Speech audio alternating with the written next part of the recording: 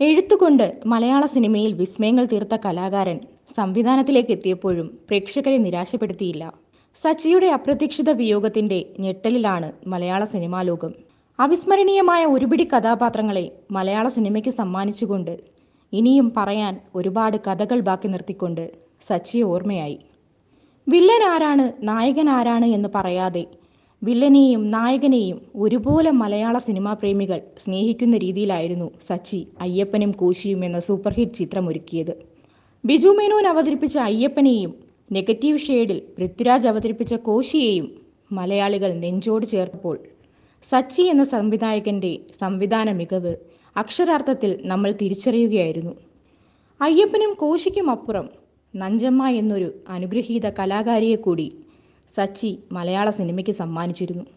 അയ്യപ്പനും കൂശിയും എന്ന ചിത്രത്തിലെ ഒറ്റ പാട്ടുകൊണ്ട് മലയാളികളുടെ മനസ്സിൽ നഞ്ചമ്മയ്ക്കൊരിടം സച്ചി വാങ്ങിക്കൊടുത്തിരുന്നു.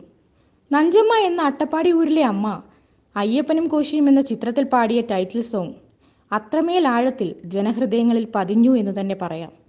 താൻ പാടത്തും പറമ്പിലും പാടി നടന്ന പാട്ടൊക്കെ ഇന്ന് മലയാളികൾ ഏറ്റുപാടാൻ കാരണമായത് സച്ചിയായിരുന്നു എന്ന് നഞ്ചമ്മ പലതവണ പറഞ്ഞിട്ടുള്ളതുമാണ്.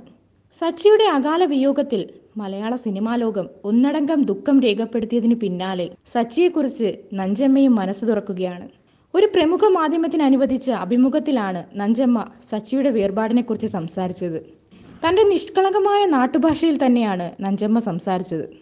ആടുമാട് മേച്ചു നടന്ന എന്നെ എറണാകുളത്തേക്ക് വിളിച്ചു വരുത്തി ഈ അളവിൽ ആളുകൾക്കിടയിൽ ഫേമസ് ആക്കി മാറ്റിയത് സച്ചി സാറാണ്. നാട്ടുകാർക്കിടയിൽ അറിയപ്പെടുന്നവളാക്കിയത് സച്ചി സാറാണ്.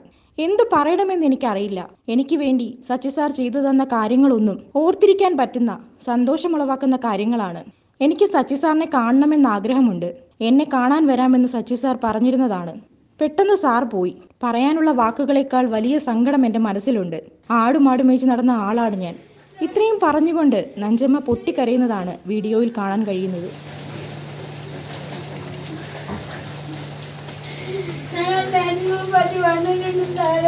നിങ്ങൾ എനിക്ക്